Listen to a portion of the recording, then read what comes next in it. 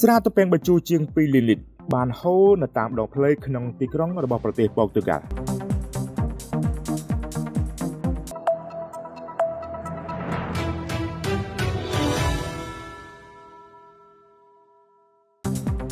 ស្រាទំពាំងបញ្ជូរជាង2.2លីលីត្របានហូរនៅតាមដងផ្លូវនៅក្នុងទីក្រុង São Lourenço de Barro ប្រទេសប៉ូទុយហ្គាល់នៅពេលដែលធុងទឹករបស់រោងចក្របានផ្ទុះឡើងធុងស្រាចំនួន2នៅក្នុងរោងចក្រ Levra នៅក្នុងទីក្រុង São Lourenço de Barro តំបន់ Anadia ភាគខាងលិចប្រទេសប៉ូទុយហ្គាល់ត្រូវបានបាក់កាលពីថ្ងៃទី10ខែកញ្ញាកន្លងទៅដោយបង្កើតទៅជាទឹកជ្រោះពណ៌ក្រហមដ៏ធំហូរចេញពីភ្នំដ៏ចោតចុះមកតាមដងផ្លូវក្នុងទីក្រុងដែលមានមនុស្សរស់នៅប្រមាណជាជាង2000នាក់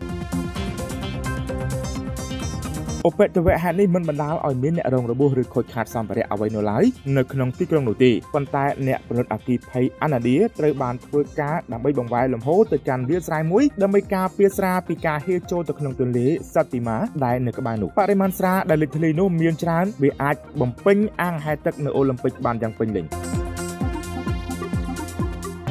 យោងតាមសេចក្តីរាយការណ៍របស់រោងចក្រ Lavera បាននិយាយថាយើងនឹងទទួលខុសត្រូវទាំងស្រុងចំពោះការចំណាយទាក់ទងទៅនឹងការសម្អាតរួមជាមួយនឹងការជួសជុលហើយនឹងបដិញ្ញាដោះស្រាយស្ថានភាពនេះឲ្យលឿនតាមដែលអាចធ្វើទៅបាន Lavera បាននិយាយថាវាមិនច្បាស់លាស់នោះទេថាហេតុអ្វីបានជាធុងស្រាចំនួន2នៅរោងចក្រ Levera នេះបន្ទុក Levera ក៏បានបន្តទៀតថាស្តុកស្រាដ៏ធំរបស់ខ្លួនគឺតាក់ទងទៅនឹងវិបត្តិលើស្តុកនៃស្រានៅអឺរ៉ុបដោយសារតែតម្រូវការមានការកាត់បន្ថយ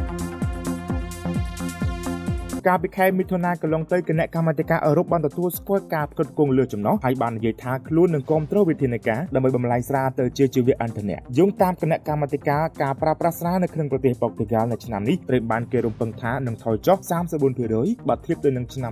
2022ដូច្នេះហើយការប្រើប្រាស់ស្រាក៏ត្រូវបានព្យាករណ៍ថានឹងធ្លាក់ចុះយ៉ាងខ្លាំងនៅក្នុងប្រទេសអាល្លឺម៉ង់បារាំងអេស្ប៉ាញនិងអ៊ីតាលីផងដែរ